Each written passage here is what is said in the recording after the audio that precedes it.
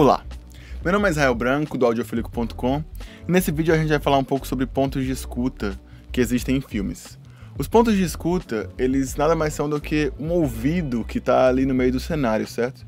E a pergunta é, quando você vê um filme, onde é que estaria esse ouvido? Se você fosse situar um ouvido no meio de um cenário, é, de alguma cena que você está assistindo, onde é que esse ouvido vai estar?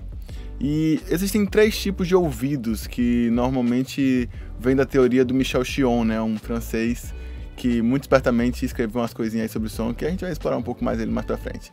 É, e aí o que acontece é que nem sempre esses três tipos são puros, porque na verdade nós temos vários, muitas vezes vários microfones espalhados em cena e às vezes esses três tipos eles se combinam.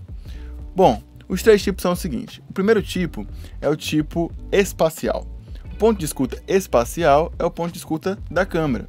Então, se a gente tivesse com o microfone em cima da câmera, é, você vai escutar naquela distância que a câmera está também. Então, se a câmera estiver longe, você vai escutar longe. Se a câmera estiver perto, você vai escutar perto. Então, basicamente é algo meio íntimo assim para o espectador em si, porque o espectador ele tem que estar próximo para ouvir. Pode-se dizer também que o ponto de escuta espacial também é o ponto de escuta do espectador, apesar de todos os pontos de escuta serem um tanto do espectador, para falar a verdade.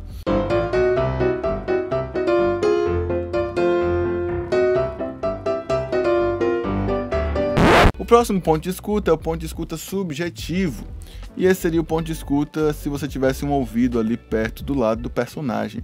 Se você estivesse escutando aquilo que o personagem escuta na posição que o personagem está. Isso depende muito do tipo de personagem que está na cena, a quantidade de personagens também. E a gente pode dizer que o microfone lapela, que é o microfone que fica no personagem, é um microfone que, por excelência, é um microfone subjetivo, né, de ponto de escuta subjetivo. É um ponto de escuta mais invisível, porque ele não deixa transparecer a distância da câmera a pessoa que está que tá sendo gravada, né? Seja um ator, seja, enfim, um entrevistado, ou um apresentador, ou o que for. É, e normalmente é o ponto de escuta mais utilizado, para falar a verdade, é o ponto de escuta, na verdade, que está acontecendo nesse vídeo agora. O microfone está bem perto de mim, porque se ele estivesse longe, talvez causaria um estranhamento para você e você falaria: ah, o som está ruim. Não necessariamente o som está ruim, só estaria menos legível, né? O terceiro tipo de ponto de escuta é o ponto de escuta introspectivo, que basicamente é como se fosse o subjetivo, só que ele leva em consideração também o estado mental do personagem. Então ele é um ponto de escuta que normalmente está relacionado com situações onde o personagem está bêbado, onde o personagem acabou de passar ou de sofrer um acidente, ou quando o personagem está lembrando de algo, ou quando o personagem leva uma porrada, ou quando o personagem está com muito sono ou quando o personagem está muito perturbado, drogado, enfim. E isso vai lidar um pouco com a questão psicológica do personagem naquele momento. E muitas vezes, por exemplo, em um filme de guerra, às vezes o, a, o personagem pode ouvir algum, alguma batida de porta e lembrar de uma bomba. Ou ele pode ouvir o barulho de a, uma máquina de lavar roupa e lembrar de um barulho de um helicóptero. Então, esses tipos de pontos de escuta seriam pontos de escuta mais introspectivos e eles servem para mostrar o que está acontecendo por dentro do personagem.